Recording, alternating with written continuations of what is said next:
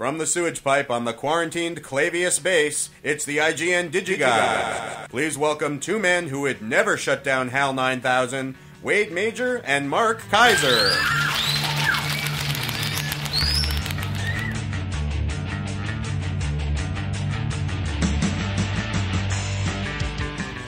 Mark is uh, eating. What are you eating? Uh, peanut filled pretzels. Lean into the microphone.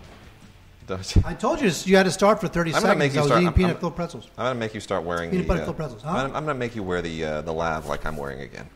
You don't you don't you don't enjoy the lav. You don't love the lav. No, because it's it's somehow constricting. Okay, it's all right, fine.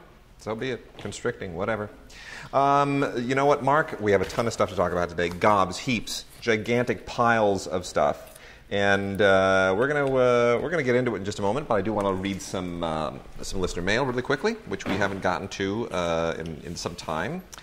And uh, listener mail last week. Huh? No, we didn't. We, ne- we didn't get to it.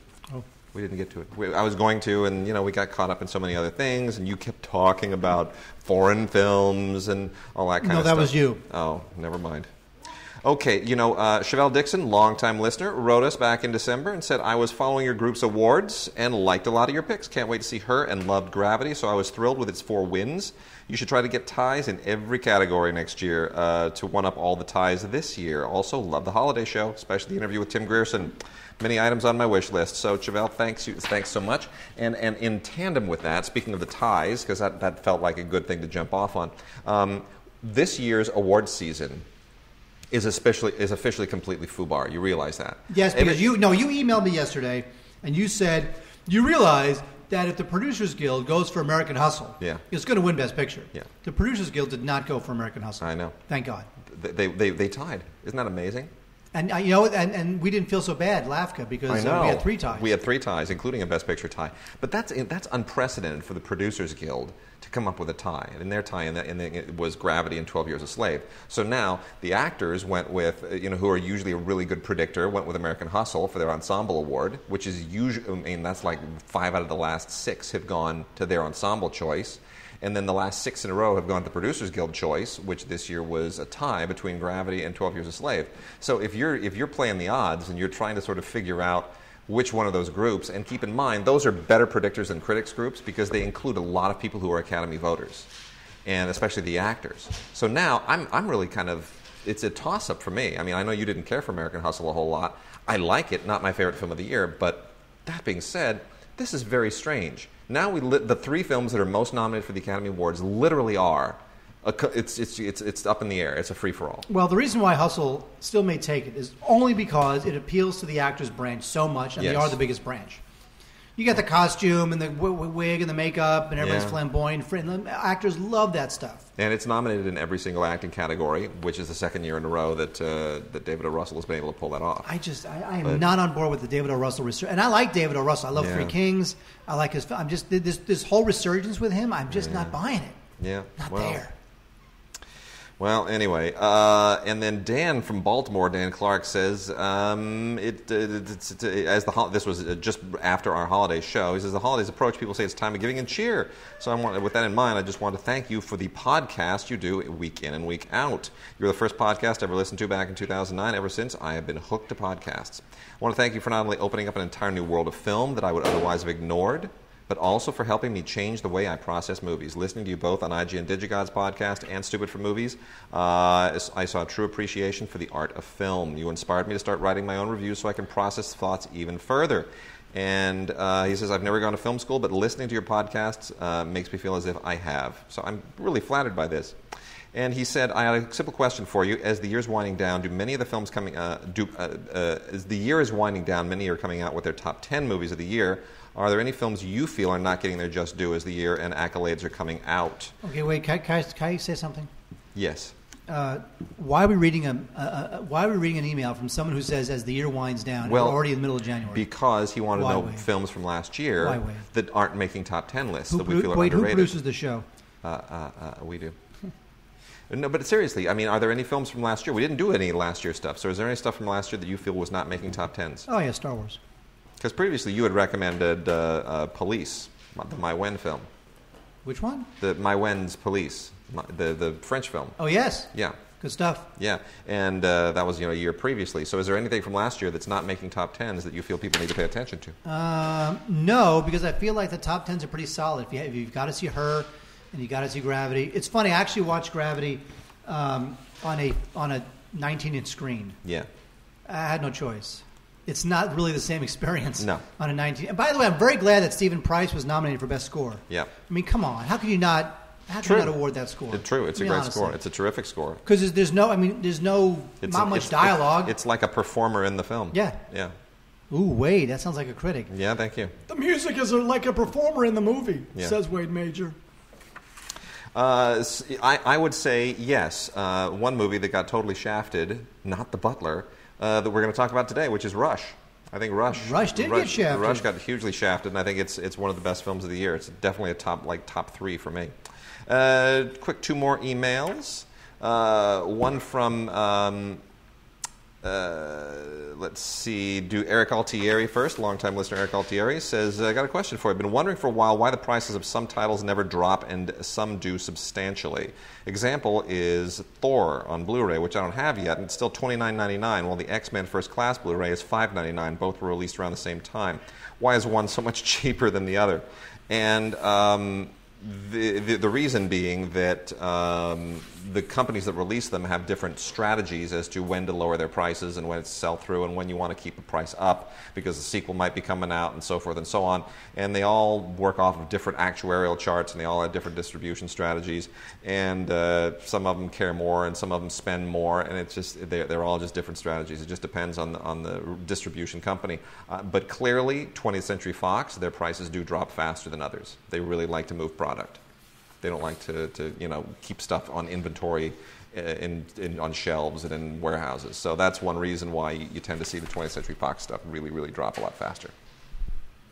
You know? Good know, point, Know Wade. what I'm saying? I do. We have a lot of movies, Wade. Yes, we do. And uh, then lastly, from um, Al in uh, up in the Bay Area, San Francisco. Now that I'm unemployed and momentarily outside of the capitalism loop, on this occasion, in the spirit of youthful insurrection, I proudly, fiercely, and yes, nostalgically pronounce one more title to the quasi guilty pleasure list: The Strawberry Statement from 1970, Stuart Hagmann. You familiar with it? The Strawberry Statement? Yep. I'm not. You're not familiar with Strawberry no, Statement? tell me all about it. Strawberry Statement is one of those uh, kind of late 60s. It was 1970, but it was shot in the late 60s. It's one of those rebel movies, one of those uh, youthful. We're gonna we're gonna burn down, uh, you know, like like a Kent State kind of protest thing, right? Right. That's my daughter you hear in the background. Baby. She's uh, they think they're so increasingly smart. She's increasingly becoming a part of this podcast. She's increasingly a No, this it's it's uh, you know one of those rebel movies, and it's kind of a big deal. It's on, it's out actually on DVD from uh, Warner Archive, so it, it went under uh, beneath the radar.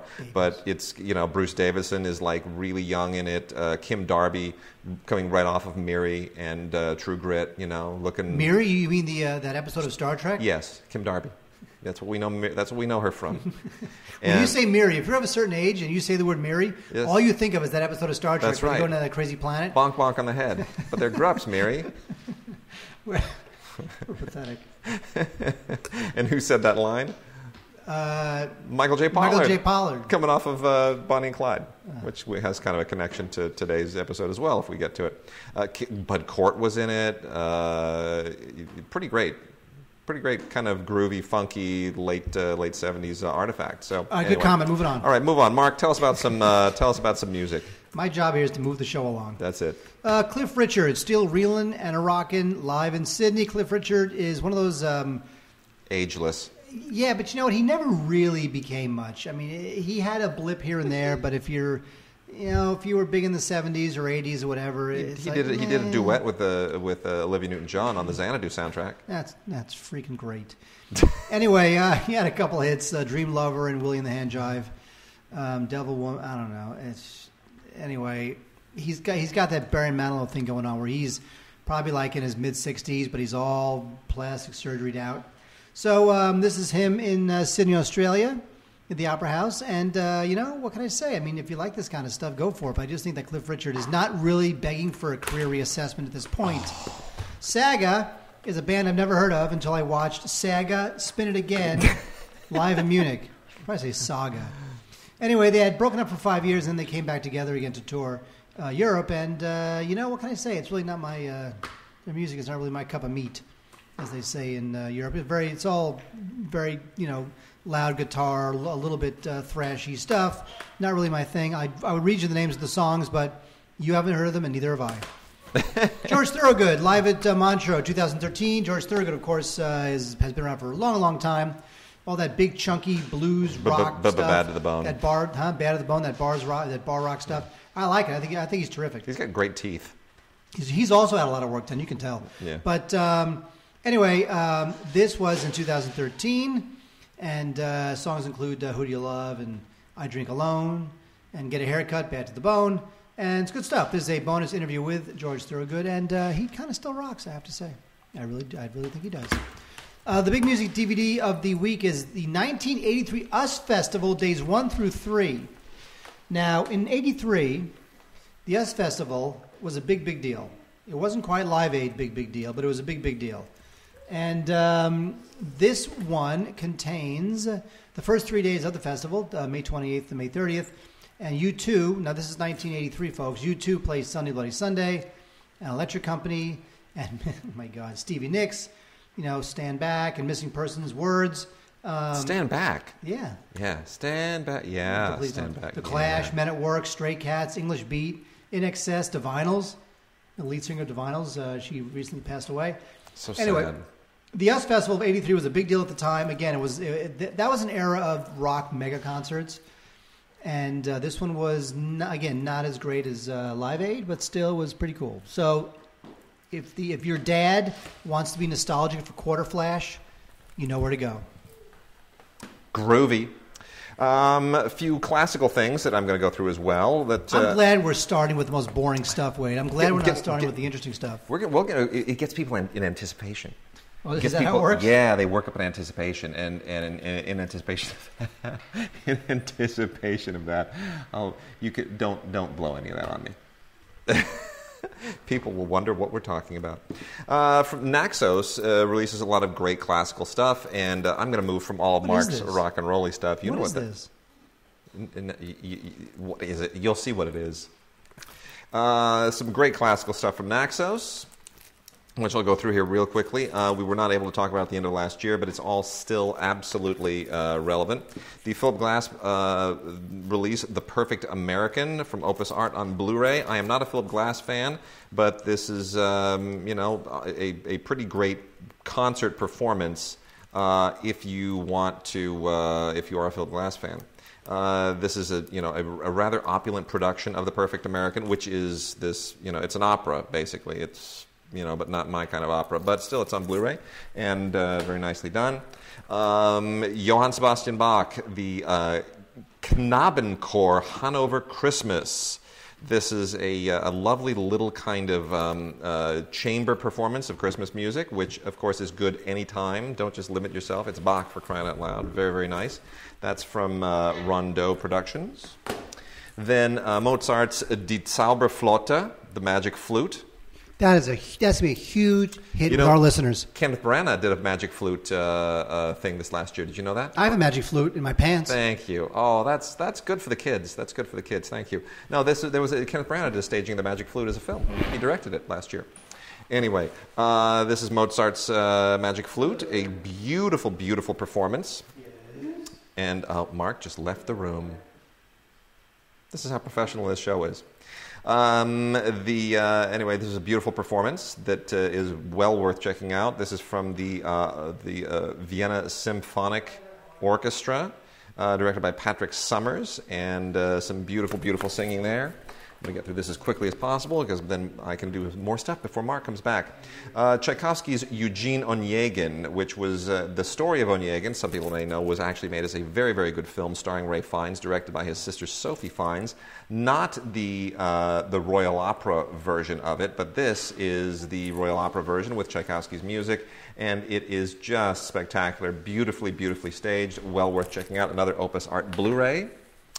Um, the last two uh, kind well, let's see. We got a few other Blu-rays here. We got a Blu-ray and DVD set Uh, you can get it on either Blu-ray or DVD. Um, I would recommend the Blu-ray. Obviously, this is Mariss Jansons's The Complete Beethoven Symphonies with the uh, the uh, Bayern Munich Symphony, and uh, first-rate sound. Really, is the only reason you want to get this. The uh, the Blu-rays obviously have the the lossless audio, which is unprecedented. And if you have a really first-rate home system, don't even worry about. You could turn the video off. The audio will be, it'll be like having a concert in your home. Back in the late 1950s, uh, Glenn Gould, the amazing great pianist, the legendary pianist, uh, went on a tour in Moscow, and you know, in the, the height of the Cold War and uh, communism raging, and uh, he was the first uh, musician, the first North American musician ever to uh, make that kind of a trip behind the Iron Curtain. And uh, they now have Glenn Gould, The Russian Journey, on Blu-ray, which is a fascinating kind of archival collection of materials. All of them, many of them, released from the, the Canadian government, actually that uh, sort of document that incredible tour, and it is really, really first rate. It's it's only an hour long, but it's on Blu-ray, and it is a wonderful artifact for any fan of that amazing talent. And then uh, Das Rheingold from the orchestra of the Teatro alla Scala. This is uh, the, from uh, Richard Wagner's uh, Nibelungen Ring. This is uh, from Arthaus Musik, a just really, really powerful live uh, performance uh, from May 2010. And uh, if you are obviously a Wagner fan, you will just groove to this on like it's a rock and roll concert. It's on Blu-ray. And then lastly, a DVD of Leonard Bernstein doing Elgar's Enigma Variations, which includes a rehearsal documentary and an interview with Bernstein. Uh, this is all performed by the BBC Symphony Orchestra, obviously before Bernstein passed away. And this is only on DVD, uh, but well worth checking out if you're a Bernstein fan. Uh, beautiful work all around, just fantastic music, and uh, really an interesting peek behind his process and behind the whole orchestral process in general. And just in time, Mark now returns to the microphone. This, that's how professional the show is. We now have babies cooing in the background. Mark takes phone calls in the middle of the show. We're a professional show. We're a professional operation. And Mark's chewing now. Bad Grandpa. I don't like Jackass. I never like Jackass. I never will like Jackass. But Bad Grandpa I thought was cute. You know why? Because it has a certain charm to it that the other stuff doesn't have. Wait, Yes. what are you holding? I I'm holding the thing that I told you that, that you, you didn't know what this was. No. Good grief. It looks like a vibrator. Or or some roll on deodorant. There you go. Is that what it is? Roll on deodorant? It's it's it's it's it's some kind of uh, chemical that I I'm I'm afraid to. Uh, You made it seem as if like I didn't know what it was. You don't know what it is either. it's, well, Anyway, Johnny Knoxville plays um, Irving Zisman. That's his, uh, you know, his 86 year old grandfatherly character, and he takes his uh, quote unquote grandson around uh, America with all sorts of crazy hijinks, hidden camera hijinks ensue. I, I, I don't like Jackass, I'll admit it, but I, I thought this was kind of cute. Uh, the Fifth Estate is a movie that I didn't like. Um, it's very exciting. It's very visceral. It's, it's, it's got its surface thrills, but ultimately, it's not a very interesting character study of Julian Assange, the uh, the so, founder dis- of so WikiLeaks. disappointing. I agree. I really I I, I expected I, I like I, you know the trailer for this was great. Yeah, well, this is also part of uh, Benedict Cumberbatch's uh, you know breakout year, and ultimately he's fine. He looks like he looks like uh, Assange. He has that same sense of ego and self-regard, and a little bit of megalomania as Assange. Did you learn anything about the the whole WikiLeaks thing in this? Uh, no, No. I mean yes, but it's it, it, it just charts it charts his rise from like Assange is like this shambling guy who blows in out of nowhere with this big idea, and then slowly and, and then slowly as his leaks become more and more controversial, and you know, and and you, you start to deal with like Right. government improprieties and bringing down banks, and he gets more and more power. How he starts to kind of believe his own press, Right. and lose it, but. The problem is that it's a, as a thriller it works, but a thriller is not how it should be working. Right. So it stars Benedict Cumberbatch and Daniel Bruhl, who we'll talk about in a second, right after uh, we talk about um, Last Vegas, which I thought was, and this is kind of an insult, which I thought was completely pleasant. Now, when a movie stars Michael Douglas, Robert De Niro, Morgan Freeman, and Kevin Kline, completely pleasant, not what you were hoping for. No. So it's about a bunch of guys who, uh, old, older guys who go to Vegas. They've been best friends since kids, and they go to Vegas and they uh, they freak out with prostitutes and, uh, and Yeah. Viagra and all that sort of hacky comic stuff. So if this starred any other four people, I wouldn't even care less. But the fact is, is that I don't know what to say. Is you know what you know what this is? This is a great rental. Yeah. It's a great Saturday night rental. It's got four great actors who we love to see, and even if it's like a nothing for them, it's still fun. Las Vegas. Yep. What can I say? Las Vegas. I think I will just. I think I'll watch that tonight. I think I'll watch all. No, those- you won't. Maybe. On the radio next week, I got too many other things to watch. You don't have to watch for next week. Just, just as a little detour here. Here's what I have to watch for next week. I haven't watched any of them yet. Um, uh, Give Me Shelter, Run and Jump, Enemies Closer, Gloria, If You Build It, Like Father, Like Son, The Grounded, 24 Exposures, Knights of Badassdom. Unbelievable. Then we better get this podcast Yeah. over with so you can be watching movies. Rush is one of the best films of last year. Rush didn't get a single Oscar nomination, even though it was directed by uh, Ron Howard, even though it was written by Peter Morgan, even though it stars Thor for crying out loud, Chris Hemsworth, and even though it also stars Daniel Bruhl, who's another like major actor of the moment, as you just noted in uh, The Fifth Estate. Daniel Bruhl, a German actor who incarnates Niki Lauda so well. I thought for sure there was a chance when I saw this movie that he would be uh, in the mix for a Best Actor. You know what? It, Universal completely caved on this. They didn't know how to market it. They just they didn't make enough money. They felt, and they didn't want to put anything into an Oscar campaign. It was unbelievable. They just totally folded on this film's Oscar chances, and it's so disappointing because it's one of the best films of last year. Absolutely amazing. Uh, if you don't know it, it's the story of the. Um, the rivalry, the legendary rivalry uh, during the 1970s between uh, Niki Lauda, the uh, the German um, racer, and James Hunt, the British racer in the Formula One realm. And they're completely different. You know, Hunt is like flamboyant, and he's a playboy, and he's rock and roll, and Niki Lauda is just that German stereotype. He's focused, he's intense, no fun, no nothing, all business all the time, right? And it's really an intriguing story. It is an amazing story. I'm amazed it never got made before. Uh, it got made because Peter Morgan had a house in Switzerland that was uh, next door to Niki Lauda, and he met Niki Lauda, who, of course, started, you know, bloviating his greatness to, uh, you know, to Peter Morgan, who's like, is why has this never been a movie?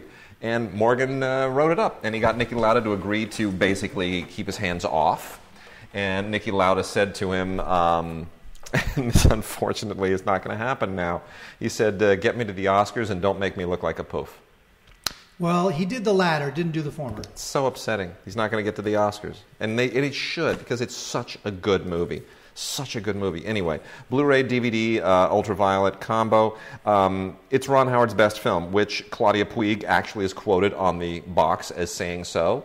And uh, she and I both said so on Film Week because we were on uh, the day of opening. And it is. It is Ron Howard's best film, far and away.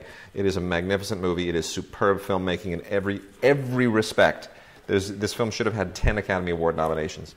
And as if that's not enough for you racing fans, uh, there is a, uh, a documentary out called One, that is the number one.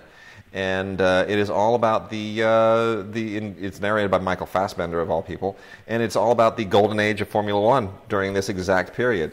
And uh, this is released, obviously, by Millennium intentionally to capitalize on, uh, uh, on Rush because Niki Lauda and James Hunt are all over this movie, as is Jackie Stewart, who we all know from pushing Mattel, you know, toys in the 1970s when you and I were growing up, and, and Michael Schumacher and uh, Sebastian Vettel and Jacky Ickx and, you know, Mario Andretti. Lot- All these guys are, they're all over this thing. So, uh, pretty great pretty great documentary. I would say get this and watch it in tandem with Rush. They are both absolutely superb. I love racing. I grew up on Formula One. Can't get enough. Really? Can't get enough. I didn't know that. I know. A lot of people don't know that. All kinds of things. No, I love Formula One. Really? When everybody else is like Indy, Indy 500, NASCAR, I'm like, you have no idea what you're talking about. Watch a Formula One race sometime. A Formula One race is magnificent because you're going through cities and you're going left and right. It's not just an oval over and over and over and freaking over. Indy 500 is like, oh, there's another lap, and another lap, and another lap, and another lap. Oh, a pit stop, and another lap. Oh, he's passing. Oh, and a pit stop. It, it, when you're, you only ever turn like one, you turn in one direction. You're going to get a cramp. Formula One is what it's, is where it's at. It is an amazing sport, Formula One racing. Cloudy with a Chance of Meatballs uh, 2 in 3D. I don't know why this even exists. I uh, now that I have a, a child, uh, I, you would think that I have a softer spot in my heart for these kinds of movies, and I just I kind of don't get it. This is from Sony Animation, and uh, the first one just perplexes me. I don't find it that cute. This one I kind of find more of the same. People love this thing, so by all means, disregard everything that I'm talking about. You get some mini movies on here as well, which I think are actually some, somewhat fun. Like Attack of the 50 Foot Gummy Bear is actually much more entertaining than the movie itself. Uh, but, uh, you know, uh, whatever. 3D is fine. The Blu ray is really good. It is what it is. Um, Mark, why don't we get into some. Um, Some movies people care about. Yes, some classic movies. Why don't we? Uh, let me really quickly go through some Paramount releases from the CBS Paramount library uh, that people may never have heard of. And uh, that would be Jack Lemmon and Barbara Harris, first of all, in The War Between Men and Women, also with Jason Robards. You ever heard of this? Jason Robards. Yes, I've no, no, no. it. The War Between Men and Women. I've heard of it. It is quite old. it, it you know what it's not that old it's 1972 it's not like it's you know 50s or anything um, actually not bad quite quite fun it is a uh, it, it's one of those kind of wacky romantic comedies from the period that feels very i mean it's very very much of the 70s but um, actually not bad at all great marvin hamlisch score uh, pretty fun. Barbara Harris, not my favorite actress, but uh, she and Jack Lemmon, some good chemistry, very entertaining. Dustin Hoffman in uh, Who is Harry Kellerman and Why is he saying those terrible things about me? A, uh, a, a very underrated uh, Dustin Hoffman performance. Very, very quirky, cool, groovy, funky movie from 1971. Uh, directed by the late Ulu Grossbard and featuring songs by Shel Silverstein. Right? Shel Silverstein. Fla. Gotta love Shel Silverstein. Anyway, um, no, the Dustin Hoffman plays uh, George Soloway here, and um, pretty great, pretty great performance. And then also Jack Lemmon and Catherine Deneuve in April Fools from 1969. And I know a lot of people are thinking, really, Jack, uh, Jack Lemmon and Catherine Deneuve made a movie together? What are you kidding me? You know what? Not bad. It's it's a romance. It's a romantic comedy. It's uh, not the funniest movie, not the most romantic movie that you're ever going to see, but it works. Written by Hal Dresner, who did uh, more than a few decent little things at the time, and uh, great song by Burt Bacharach and uh, Hal David. Good stuff. I liked it. he's, like, he's like staring at it or something. What are you doing? All right. Well, you, you know who directed this? Stuart Rosenberg. Stuart Rosenberg. Isn't that amazing? Stuart, Stuart Rosenberg, I feel so bad for Stuart Rosenberg's career because there's a guy who should have been like, you know, he should have had that Francis Coppola, Hal Ashby, Martin Scorsese career in the 70s and 80s. He just should have. I mean, he's, Stuart Rosenberg's an unbelievably good director, but he just never, I don't know, for whatever reason, he never kind of, I mean, should have, he should have had at least one Academy Award, never really caught fire, and then he, you know, passed away just a few years ago, and it's just, you know, it never, I mean, all, just never really took off for him. Cool Hand Luke is kind of where it kind of peaked in a, in a way. Totally. It's just too bad. Uh, Dracula 3D. Now, I'm not a big fan of Dario Argento. I understand why he's a cult dude and uh, people love his cult crap, but uh, not a fan. But I do kind of like Dracula 3D, not because it's Dario Argento, but because I think that the vampire story needs to be like de-douchified Yeah. with all this, you know, vampire stuff with the the Kristen Stewart or whoever the hell that does the vampire crap that no one cares about. All the kids love. Who Yeah, cares? Go yeah, away. right. This is just like a classic vampire story. Mm-hmm. Right. Totally. It's like 400 years he was dead. and He comes back to life. Yep. Very exciting. Yep. The movie stars uh, Asia Argento, who is uh, Dario's daughter. Aja. Aja, I know. Yeah, I knew that when I said it, and then I Yeah. realized uh, I said it wrong. And it's got Rutger Hauer in it, which is uh, cool. He plays a vampire expert. And uh, look, I'm not a big Ar- Argento fan, but this has uh, this is kind of uh, it's kind of cheesy, fun, entertaining, uh, kind of recalibrating Dracula for what it really is, which is just baroque and fun and a little bit cheesy, Mm-hmm. and that's it. Great. Scott. Wade, uh, I'm going to say something very controversial, and you know what I'm going to say. I know you don't like it. It's a mad, mad, mad, mad world. I'm Not funny. You, I'm going to let you vent your bile to begin with, Not and then, funny. and then I am going to correct you. Not funny. This is the uh, classic. Stanley Kramer film. Now, Stanley Kramer was uh, was sort of known more as an issues director than he was a director of uh, comedies. Mm-hmm. Yes. Uh, this film works sl- uh, solely by virtue of its cast. which, if you were alive in 1963, it would be like 18 Christmases all strung together. Milton Berle, Dick Shawn, Sid Caesar, Buddy Hackett, Ethel Merman, Mickey Rooney, Jonathan Winters, who passed away recently. Um, this is all about a chase. This is a big- Chase Lounge. Chase Lounge. bunch of guys chasing after some money. That's what they're doing. So I, I will give you I will give you three reasons why this why I don't like this movie. The number one, the number six, the number three. This movie is 163 minutes. Stop that. There's no such thing as a funny movie that's 163 minutes. It doesn't work that way. It's just so bloated. I'm going to give you three reasons why this is one of the funniest movies ever made. Oh okay, you ready for this? Three reasons why this movie is a classic and should be seen by everyone. Yes. You ready for that? Reason number one: Dick Shawn. Reason number two: Dick Shawn. Reason number three: Dick Shawn. Yeah. That's why this movie is hilarious. Dick Shawn in his little red shorts, go-go dancing. Maybe one of the three or four funniest things I've ever seen in a movie in my entire life. And when you first see it, it's all one shot. The cam- it's a lock off. He and that groovy woman in their little beach shack, that little surf shack, just doing their little go-go dancing. And he's, he hollers and he gets on the phone, zips out. I'm coming, Mama. I'm co-" Come on, give me a break. He's and then awesome. And then what happens in the other 162 minutes? oh, you get Milton Berle and you get uh, you know everybody else in the movie. It's pretty great. I love it. No, it's not. You know, the, the best thing too is if you live in this particular area, the California Incline never really shows up in movies. But when Phil Silvers in his little sports car comes ripping down Pacific Coast Highway and turns up the California Incline the wrong way, like what you would get a ticket for if you did it in real life, best moment I've ever. done that, by the way. Wait, oh, is that the one where he, he makes the right on the California incline, going right. north on PCH? Oh, I've done that. We've all done that. No, no one does that. I've done that. Have you done We- that? We've all done that. Everybody's. I saw a guy that last week doing that. I've He- never done He's that. going north on PCH. Yes. And he makes a right on uh, the California incline. You're not allowed to do that. Well, I know you're not allowed. People still do it. Now I do lots of things. never People s- do it. I've never seen anyone do that.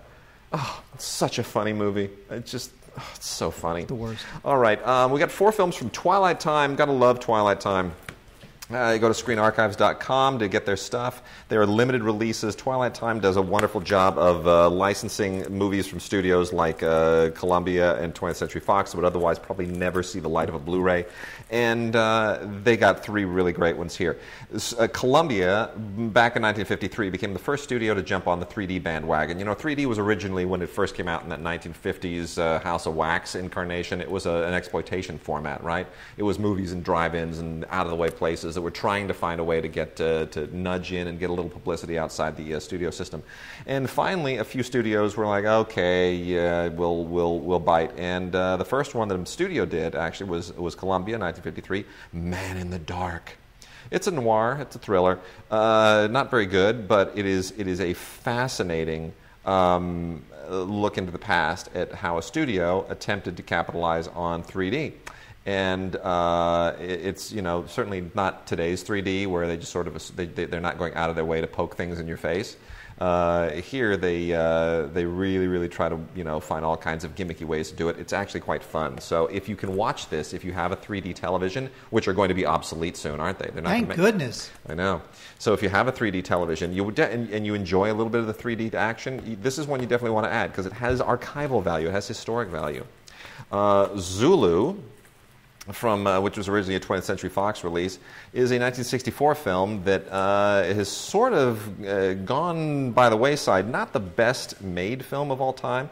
Uh, Cy Enfield, not kind of not exactly David Lean, but uh, this is most famous because it has some tremendous John Barry music, which you get in an isolated score track, and uh, you also get film historians. Are you ready for this, Mark? The commentary is by film historians Nick Redman and Lem Dobbs. Lem Dobbs, he's uh, Soderbergh's guy. Well, yeah, yeah, but it's it's funny that you know Lem Dobbs and Nick Redman are now film historians because that, that's not exactly. I mean, Nick Redman is a, a producer, and uh, you know Lem Dobbs is a screenwriter, and I you know that's sort of not what I would have expected them to be to, to go by. They could have said you know by film just by Lem Dobbs and Nick Redman. Anyway, uh, this of course is is about the um, the Battle of Rorke's Drift which is this kind of legendary um, Alamo type uh, clash where you, you know, the, the charge of the Light Brigade, whatever, where uh, 4,000 Zulu warriors, you know, go up against 150 British uh, soldiers. And um, it's, it's definitely a film of its era. You want to watch it primarily because Michael Caine often references this movie in talk shows because this is the movie where he's not playing a blue collar guy. You know, M- Michael Caine has often said you only ever do the Cockney guy because you're you're a real South Londoner, you're a Cockney guy, you're Get Carter, you're that guy, right? And and he's like, no, I, I did I did actually that that proper British accent once in Zulu, and it's weird seeing him do it because you realize that he never does it when you watch the movie. Wait, no one cares. I know. Anyway, similarly, Khartoum, directed by Basil Dearden in uh, 1966, stars uh, Charlton Heston, Laurence Olivier, Ralph Richardson. Pretty good, you know, all-star cast of the time. This is a, another colonial story uh, that basically takes place in the uh, in the Sudan. And it's the story of the British facing a who was uh, the um, Laurence Olivier playing the Mahdi character. Laurence Olivier is not the not a British guy in this. He's sort of the the um, the Osama bin Laden of the 19th century, and uh, it, it's got a lot of interesting uh, connections to the present day, war on terrorism, and all that kind of stuff. Definitely worth checking out. Uh, Dearden, you know, one of the better directors of his day, and uh, very good cast. And uh, yeah, definitely, definitely check that one out. Good isolated score there as well. And then Anthony Hopkins and Jessica Lange in the misbegotten Titus, which uh, Fox has allowed Twilight Time to put out on Blu-ray. This is a much more recent film than you would expect. This is, that's the Julie Taymor. It's the Julie Taymor adaptation of Titus Andronicus, the uh, Shakespearean play, which a lot of people consider Shakespeare's worst play. So she obviously decided, I'm going to prove that it's not. And uh, it's got a great uh, isolated score with um, uh, of, of, the Elliot Goldenthal music, which also includes an audio commentary with composer Elliot Goldenthal. And the Elliot Goldenthal, he had a moment as, as like the film composer of the future. And it never happened. But you realize the reason Elliot Goldenthal writes the music for Julie Taymor's movies is because they're been, married. They're well, they're not married, but Well, they might as well be. They've been together forever. It might be common law at this point. It might pretty- be over 10 years. Oh, it's well over ten years. Yeah. It's like fifty. It's like ninety-five or Yeah. ninety-six or But something. he was like that. Good. No, He, he composed the music for one of the Alien films. He's still really good. He's still really good. So I mean, it, it's great music, great isolated score. The film itself has that whole Julie Taymor, you know, like super. We're gonna funk everything up and you know put weird hairstyles and costumes and tattoos and art direction to the nth degree. Um, it's it's really overwrought. It's not Shakespeare at his best. But I will say this: the shining moment in this film belongs to Harry Lennix. Uh, Harry, otherwise known as Harry J. Lennix who almost steals the movie. And I thought he was going to be like the next big thing at that point. I, I just, I don't know why he didn't take off. But anyway. And before I turn this back over to Mark, uh, quickly a couple of criterions that are uh, definitely worth checking out. One is an Ak- Aki Kaurismäki film, the other a Terence Davies movie, two filmmakers who aren't always on everybody's radar. But The Long Day Closes from 1992. Um, you know, Terence Davies has really had his his movies tend to be very very slow, but they're and also very very autobiographical. His you know growing up in World War II in the 50s and all this, and it's this is very much a, a, one of those movies. It's about the 1950s, him growing a little boy growing up in Liverpool, who is your surrogate Terence Davies, and um, but it's very dreamlike, very poetic and uh, and really very accomplished. And I'm so glad that Criterion kind of plucked this film from obscurity because I don't think otherwise anyone would have released this on uh, on Blu-ray. It's uh, it is a fantastic Blu-ray DVD uh, combo set, which all the Criterions are now. Everything is dual format, Blu-ray and DVD. And uh, it's a beautiful, beautiful transfer. Comes from a 2K digital film transfer, which Davies uh, supervised himself along with his, his DP. And uh, they, they both give the uh, audio commentary as well, which is fine. Uh, you also get a South Bank Show episode from 1992 featuring Davies and uh, new interviews and uh, the trailer. And it's really it's, it's quite lovely. That also reminds me that the South Bank Show, which is a tremendous show, more episodes of that show need to be put out on DVD because there's a South Bank show with uh, David Lean and Robert Bolt that is just superb, and I only have it on on uh, like my VHS recording where I recorded it off of a really bad uh, public television transmission, and uh, I A public television transmission. What you, night? Was this the Twilight Zone? well, it, it, it was. I say that because it was coming through the cable, but it was like all kind of distorted and weird. Wiggles? It was just bad. Squiggles. It was a long time ago. And La Vie de Bohème, uh, the Aki Kaurismäki film. Aki Kaurismäki, the uh, of course one of the two Kaurismäki brothers from Finland, who just make very strange, peculiar, weird, quirky, deadpan movies that uh, that are sort of like David Lynch on Quaaludes. That's the best thing that I can say it. Anyway, this is about a bunch of uh, bunch of their usual, typical kind of uh, funky losers uh, living in Paris. and it's actually based on books by um, Henri Murger called Scenes from the Life of La Boheme, and it's uh, it's a, it's a it's a it's a it's a little bit like um, the Jim Jarmusch film Down by Law. Yes. that's the best analogy that I can make. It's a it's very much like a European version of that, and I think there's a lot of uh, you know a lot of similarity between Jim Jarmusch and Kar- Kaurismäki in particular. So um, you get a really great transfer here, documentary on the making of the film, interview with one of the actors, and uh, the usual great booklet that has cool essays and stuff in it.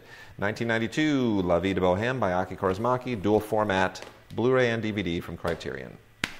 Wait, let me tell you something. Raiders of the Lost Ark, Indiana Jones. it's out on Blu-ray. Oh, That's been out before. wow, before. it's been out before.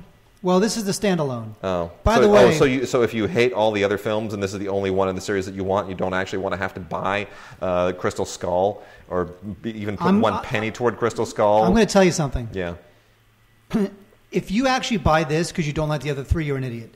Just buy all of them. It doesn't matter. It just it's a great. It's, the series is the series. Yeah. I think the first one has some moments. I, I, you. I think the first one's kind of underrated a little bit. I really like the third one with Sean Connery. I hear the you. fourth one was uh, horrifying. Yeah. Uh, but still, I mean, come on, folks, get the whole thing. yeah.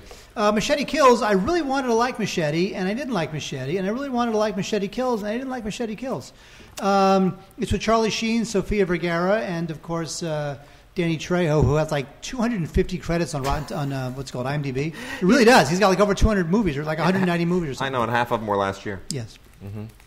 Mel Gibson's in this too, and uh, you know, I just it, it wants to be just like completely over the, and, and it is completely over the top, absurd and ridiculous, and it knows how cheesy it is, and it totally gets that vibe.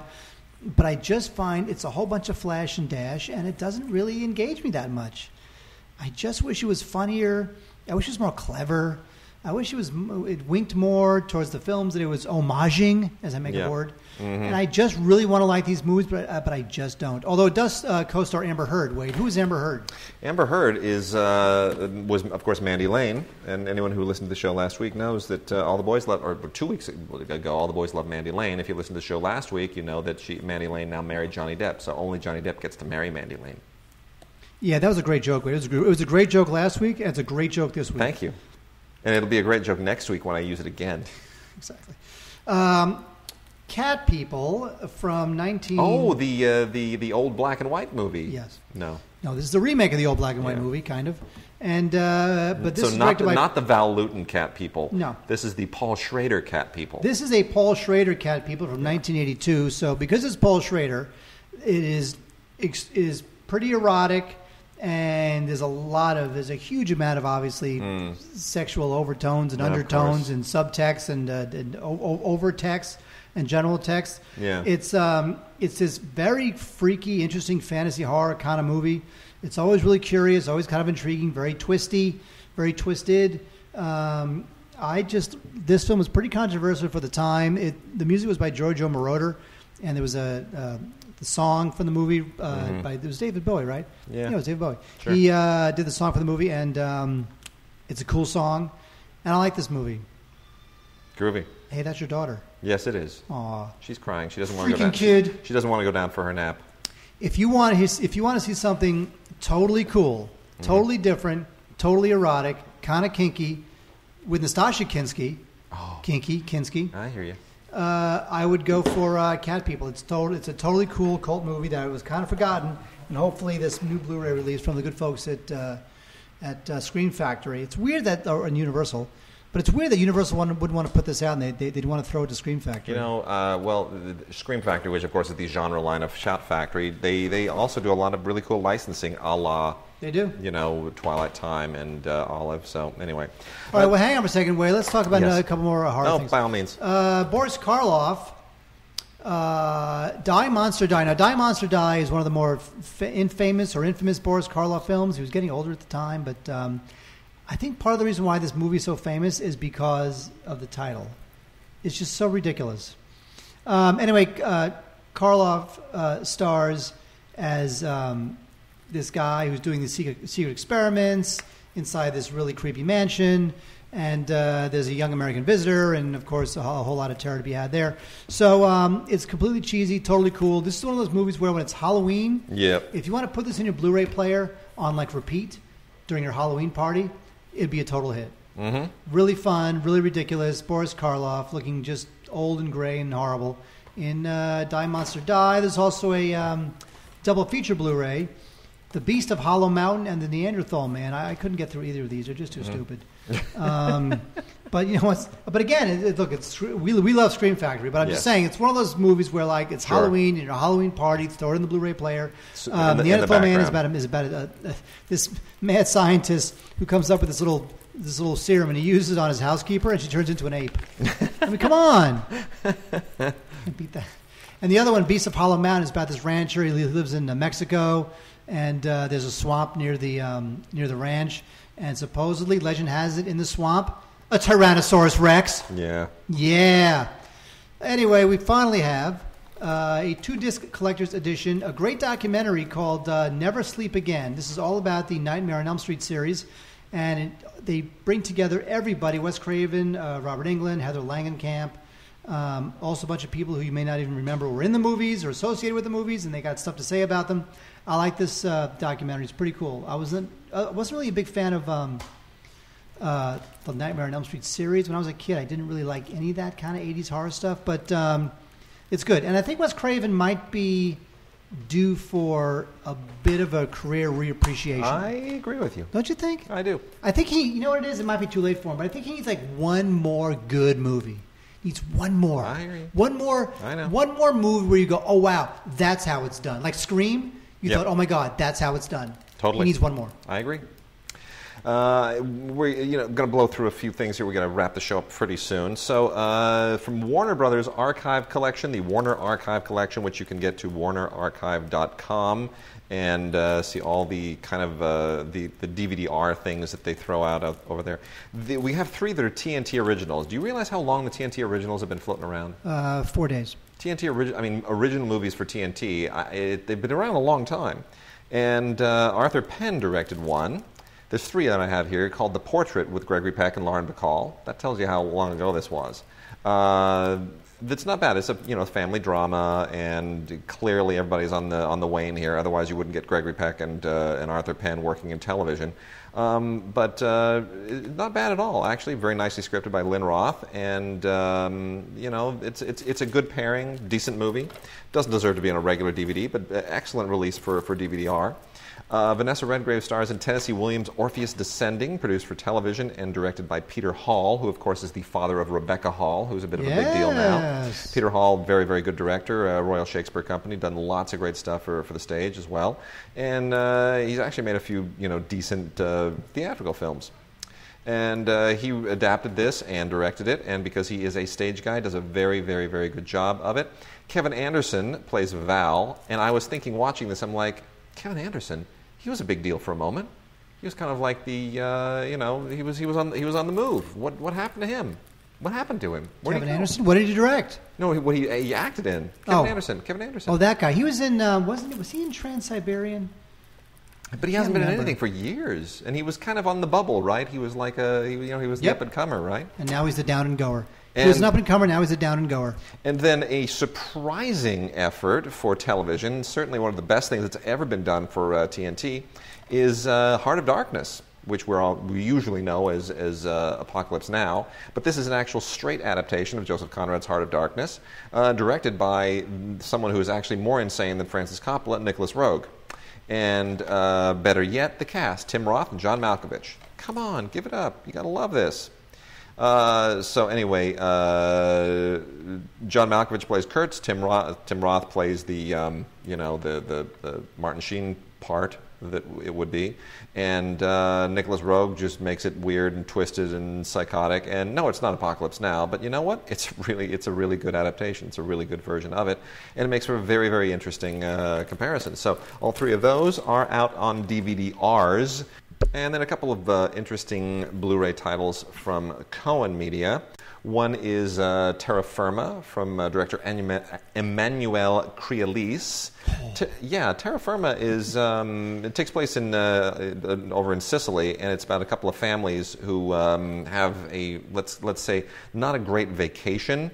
Um, and it, things go in a very interesting direction for these two families during their, their Sicilian um, period. We'll call it their Sicilian period. Anyway, a very, very interesting film, uh, kind of classically European in many respects, was released in 2011, did not get any kind of significant release in the US. Definitely worth reevaluating. Um, and then also from 2011 is The Prey, which is uh, also a really interesting thriller. I think this did get a limited release uh, theatrically. Anyway, but it's, uh, it's about a, uh, a crook who um, breaks out of prison um, and uh, has to stop. How do we put this? While in prison, he makes a mistake and he reveals too much information to somebody that he's in prison with. And then he's got to break out of prison basically to, you know, to put an end to whatever is going to happen. It's pretty great. Wait, you know what's pretty great? Really sharp. Would be a great American remake. Okay. Yeah. Rock and roll. Yeah. Oh, what? Should I talk or should you talk? No, no, no, no. I was going to uh, I was going to make a real quick mention of uh, Charlie Countryman, which is stars a guy who is no longer famous. Did you know that? He's no longer famous. God, that guy just melted down. You know what's funny is that look, like Amanda Bynes melted down, and everyone talked about it, and Lindsay Lohan melted we're- down. That guy melted down, and nobody's really running with it. It's just the most bizarre thing. it's because people are sick of talking about Shia LaBeouf. It's just, they're just sick of him. he you know? used to go to this. He uh, maybe he still does. This bar down the street from me in Sherman Oaks. Yeah. Uh, he once went in there and, and, and got the crap kicked out of him Good. because he's horrible. Shia, Shia LaBeouf uh, stars in Charlie Countryman and looks all kind of shaggy and ragged, and he's trying to be an actor in this, and he's terrible. Um, he, and, and I'm, I'm sure that uh, Lars von Trier is thrilled by his meltdown now because it's just gonna it just serves to further his his next stupid movie because he's, fact- he's fully nude in it or some damn thing. Maybe his meltdown, his performance art like Joaquin Phoenix. And No, I'm I don't. there. I don't believe it. Anyway, not he, he, no, he, he plagiarized a uh, uh, someone. It was a short story or a book or something. What was it? What was I, He didn't just play. Look, he didn't just plagiarize a short story to make his uh, directing debut in this whole movie. When he apologized, he plagiarized the apology and then apologized again. And then once he once he plagiarized the first apology, everybody was on notice that when he whenever he tweeted some other apology, they had to like try to find that one too. So he apologizes again, and it turns out he plagiarized that one. And then he winds up skywriting an apology. yeah, That he's the best. He's he's just a, he's He's he's, the a, best. he's a serial plagiarist. He's the best. And Anyway. oh, and then, then he tweeted he was retiring from public life. Yeah. Fredrik Bond directs him in Charlie Countryman, which is he pay, it, it- look here, here's what this movie is. Somebody wanted to make a movie. They found out that there's money in Romania if you shoot in Bucharest. So they just invented a movie that uh, that required them to actually go to Bucharest. So here's a guy. His his mom, who is played by Melissa Leo, has died, and she like he sees these apparitions of her, and for whatever reason he decides to. Uh, I know what I'm going to do. I'm, mourning my mom. I'm just going to up and go to Romania, like everyone does when they're in grief. Anyway, and of course, you know, yeah. So he goes to Romania, and you know, he meets up with a Romanian woman played by Evan Rachel Wood, doing her very best accent, who's involved. She's she's a musician, but she's involved with like a you know bad dude, Mads Mikkelsen, you know, who of course is part of the the the, the chin and uh, cheekbone club here, along with Til Schweiger, who's another bad dude, and you know, he gets beat up and whatever. It, it's it just makes it, it, it makes no sense at all. The whole story is really disjointed, and it's trying to be this uh, American expatriate on an existential journey movie, but it never really it never really makes sense. All right, here we go. Wait from 1937, the great Stella Dallas with Barbara Stanwyck. Barbara Stanwyck plays a uh, how do you say? Barbara Stanwyck plays like this uh, rough kind of rough factory girl who winds up marrying this uh, this rich New York this rich guy from uh, named Stephen Dallas. Uh, that's why it's called Stella Dallas. Um, the husband winds up moving to New York. Uh, Stella stays behind in uh, Texas or wherever they where were they living in this? I can't remember. I just I just watched the movie. Where the hell were they living? I can't remember. Uh, somewhere Yeah. somewhere re- remote. just watched. I can't remember where they were living. Um, anyway, so um, the husband winds up going off to Dallas, leaving Stella behind, and all the crazy drama that she gets into while staying behind, while her husband, um, his, her husband runs with a rich social, social circle in Manhattan. This is a great film, directed by uh, King Vidor. Also uh, co-stars John Boles and Anne Shirley and Alan Hale. Alan Hale, ladies and gentlemen. Oh, the It's- original Alan Hale. Yeah, that's right. The skipper's dad. Oh, skipper's dad. Um, by the way, the professor just died. I know. Oh. So sad. Anyway, uh, Stanwyck is just heartbreaking. It's great. There's, it, it's there's a lot of like mother, self-sacrificing mother tragedy in it, but it's never melodramatic. I think this film is just terrific. Um, the special features include, oh, let's just say, a Stella Dallas vintage featurette, which isn't really worth all that much, but sorry about that. Uh, but anyway, Stella Dallas, you should definitely rent it. Also, we have Wade, the Rutles. Now, Wade, in uh, 19, uh, I think it was like 1978. Is this um, both of them? This is both of them, right? The Rutles 1 and 2? Yes, anthology. anthology. Which, by the way, I'm taking. Yes, I am. No, no. Really? No, no, no. I What? love those movies. No way. Yeah. Oh, I've never damn. seen the second one. Ah, damn it. Anyway, in the 1970, I'm, I'm not talking to you. 1978, uh, Eric Idle from Monty Python and uh, Lorne Michaels from Saturday Night Live created this uh, spoof on the Beatles called The Rutles. And uh, it, was a, it was a parody called All You Need Is Cash. And uh, Nice. it's great.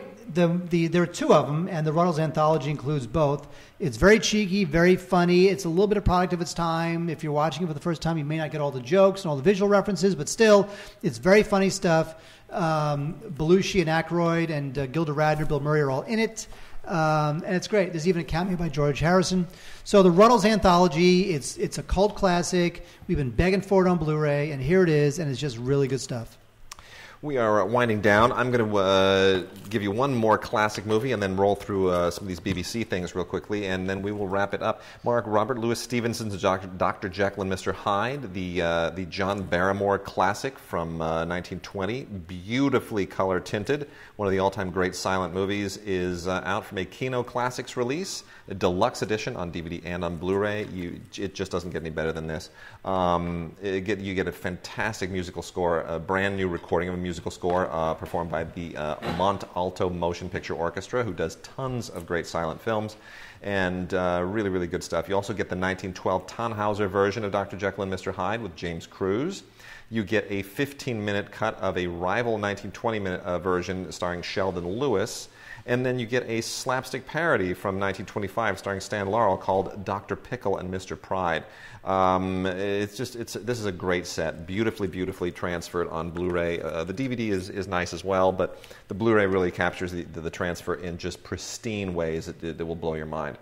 Uh, a lot of good BBC stuff that came out after, uh, during the past couple of months, uh, which we will just quickly make mention of.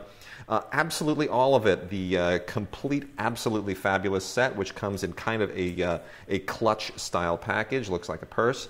This includes everything, and they keep adding to this, so they're probably going to have to do another one as soon as they do more specials. But this includes, you know, like the Olympic specials from and the, the 2012 AbFab Comic Relief special, and everything AbFab. So if you if you feel like you missed some of the stuff that was released on television since the last AbFab Complete Collection, this includes all of it. But don't there's no guarantee they won't get more. And then you also have uh, the complete Keeping Up appearances with even newer, cooler extras. This is the collector's edition. If you love this show about all the sisters named after flowers, the uh, it's just one you know primarily Patricia Routledge, who is the the star of the uh, Roy Clarke created show. Uh, this is just a wonderful comedy, one of the great British comedies of the last 20 or 30 years, and uh, you can't get better than this. Um, really, really funny stuff.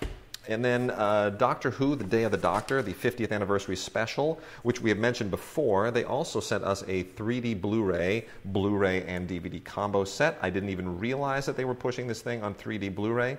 Doesn't really make a difference. That said, I've never seen such high tech Daleks in my life. Uh, it's very nicely put together, and uh, the Doctor Who world that used to be so low budget is really now getting pretty pretty high end and uh, and doing a great job of it. So after after 50 years, they are still running on all cylinders. Pride and Prejudice, the television version with Colin Firth and Jennifer Ehle, uh, now in a keepsake edition on a two disc Blu ray. People are going to go nuts for this because it always looked so crappy before in the DVD. I don't know what they did, but they really tuned this thing up so that the, the colors are brighter, the resolution is sharper. This is like you've never seen it before. High definition Pride and Prejudice uh, in a keepsake edition, just pristine. All the people who went nuts for Colin Firth uh, when he first played Darcy in this, they'll go even more nutsy for it now. Uh, and then Copper, season two. This is, uh, you know, a BBC production, but it takes place in New York in uh, the years right after the Civil War, and uh, it's become kind of a big hit. And um, uh, pro- you know, so I, I still don't quite get it. It's sort of gangs of New Yorkie is, is what, it, what it's all about. Um, this one takes place just before Lincoln's assassination, and uh, it's you know it's very stylish, but it's very again very uh, sort of gangs of New Yorkish. It's really kind of go, trying to go for this super highly stylized period between the Civil War and the Industrial Revolution, where everything was changing, and you know the America that we know today is sort of being birthed. And then lastly, two of the best things that have ever uh, come out of British television. One is Top of the Lake, which recently got a bunch of nominations for the Golden Globes. Um, this is a BBC production, however, it takes place in New Zealand because it is a uh, it's a Jane Campion production. She created it, she wrote it, and she directed it along with Garth Davis, and it's really really good. Uh, all that stuff that we wish Jane Campion would do more of in her feature films, and that we kind of miss, going all the way back to the piano and to uh, uh, all the rest of her work. It, it's it's here. It's it's right here. So it's definitely worth uh, checking out. Top of the Lake is a great great series. Um, originally aired here on BBC America, and then lastly, Downton Abbey season four. Um, which I have not watched all of yet, working my way through it. Always amazes me that this show continues to be as vibrant and as amazing and brilliant as it is. If you haven't seen season three, I'm not going to give any of the spoilers away. A lot of people are still catching up, but there are certain tragedies in season three that trickle into season four, and uh, we now take up in 1922, and the whole Roaring Twenties thing is becoming part of this changing world. The jazz scene, liberated women, all of that stuff, and Downton Abbey demands to be seen on Blu-ray in high definition. And with that, Mark, we are done. We are? Yes, we are. Yay, I want to eat more food. All right, we'll see you guys next week.